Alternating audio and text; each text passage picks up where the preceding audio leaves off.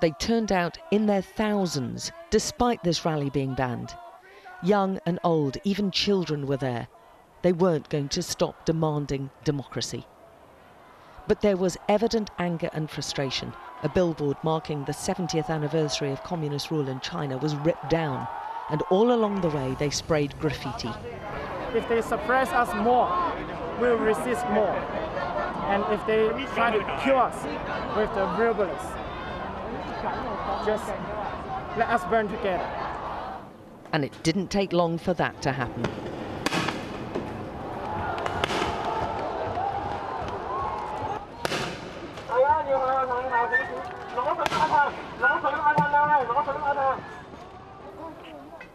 This is the seat of the Hong Kong government. There's a lot of anger over how the authorities have handled this, and this is the 13th consecutive week of protests, with them getting ever more violent. The water cannon used this time had blue dye to stain protesters who could be picked up later. The protesters and the demonstrators taking part in this seem to be getting more and more hardened and more and more determined and more and more angry.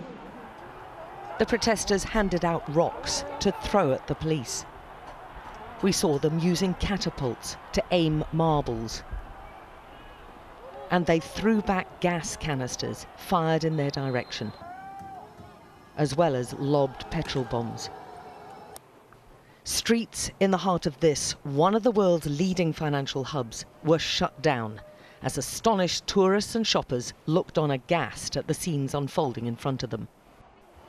Time and again, the protesters were able to outwit the police, at one stage building and setting alight a large barricade around the corner from the police headquarters. This has been a tactic. They've moved around. The demonstrators, they hit something quickly and then move to a different area.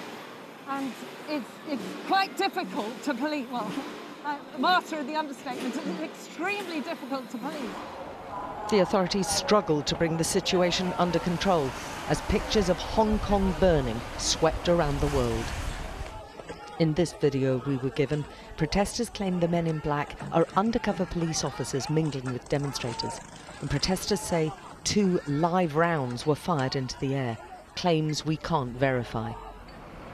Then the riot police,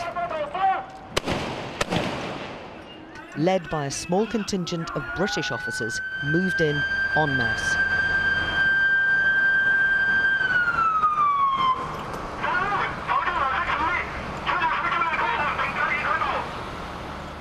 And they were determined to make some arrests.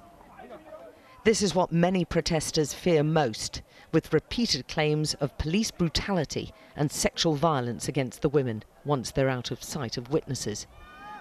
Don't know what's happening here. Uh, They're checking whether they are media because people have been masquerading as, as media. Why, why, why are you questioning him? Why I you- have to check his identity, right?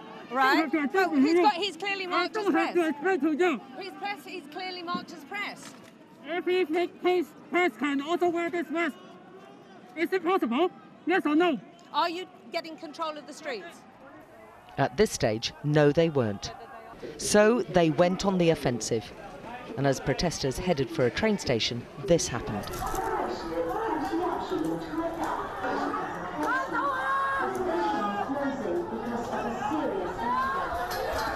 The sight of young people cowering, begging not to be hit by police, is not a good look for Hong Kong. This was a very black day for Hong Kong. And the violence is escalating on both sides, with no end in sight, and the situation getting more and more out of control. Alex Crawford, Sky News, Hong Kong.